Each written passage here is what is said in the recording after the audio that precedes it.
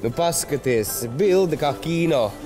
Tu vispār labi redzi? Nē, Šīs jau ir lasāmās jā, brilles. tas lasā, lasīšana tīri tā. Tev vajag nopirkt arī tālās brilles, jo nākamgad Rīgā ļoti daudz kino pasākumu notiks. Un starp citu, es jau ļoti daudz ko par to zinu.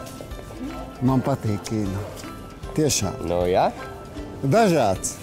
Tātad Brigita Rozenbrika kartiņu atstājāt pie medmāsiņas, ja tagad pārbaudīsim. Pirmais sāksim ar to redzi. Lūk, kā pamēģināsim mazākus. I, N, un pēdējiem ir jābūt O, jebkurā gadījumā. Nu, kino tieši tā. Nu, kino redzi ir viena no svarīgākajām Jā. lietām. Tomēr tā bilde jāredz. Vai tev jau ir trīs zvaigžņu ordenis? Nē, Bet es domāju, ka tu esi pelnījis, jo tu taču esi panākusi, ka nākamgad Oskara ceremonija notiek Rīgā. Nu, gandrīz Oskara. nākamgad ā, Rīga ir Eiropas kino metropole. Jā, tā tad pie mums notiks kas? Ā, Eiropas kino akadēmijas balvas pasniegšanas ceremonija un ar visu ar to saistītie pasākumi. Un kā tas- Eiropas ā, kino spožākās zvaigznes nākošais gads pulcēsies Rīgā. Vai tā jau jāpērk jaunas kleitas un uzvalki? Pilnīgi noteikti. Un kurā vietā un kad tas notiks?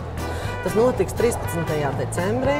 Ā, Šī te pati galvenā ceremonija notiks operā, bet tā sekos līdzi miljoniem skatītāju visās Eiropas valstīs, un ne tikai Eiropas auditorija ir milzīga. un Visu skatienu būs pievērsta televizora ekrāniem, kur trīs stundu garumā tiks runāts arī par Rīgu. Bet kā mēs tikām pie šī goda? Bija jāraksta kādas vēstules, vai tas Bija, bija, ir? mēs arī sacentāmies ar, ar vēl divām citām kandidātu pilsētām. Nu, nu.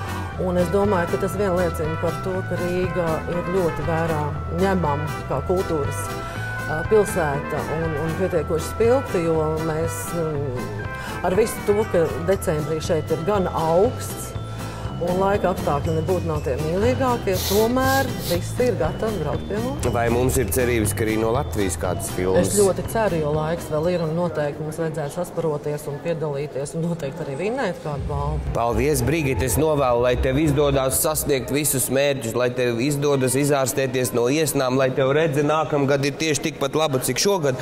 Un uh, mēs uz tevi liekam lielas cerības nākamā gada sakarā. Un ja tu vari, nu, iefīrēt tur kaut kā, ka mēs ar kādu balvu dabonam. Jo žūrijā mēs arī būsim no Latvijas kāds. Žūrijā ir kino akadēmijas biedri. Tā kā es ļoti ceru, ka Latvijas kino mm, profesionāļi aktīvi stāsies kino akadēmijā un varēs piedalīties. Balsos par un beigās visas uh, balvas tiek Latvijā. Tas būtu skaisti. Paldies! Tev. Paldies!